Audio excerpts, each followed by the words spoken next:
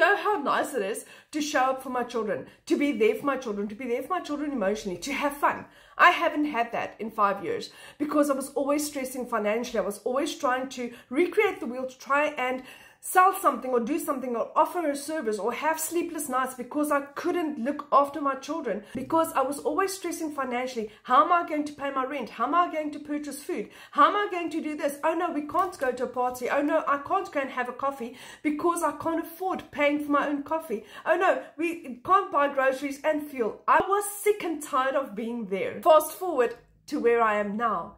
I am now a yes mom. I can say yes to my children. I can say yes to a party, to a rugby game, to a flight overseas, to holiday.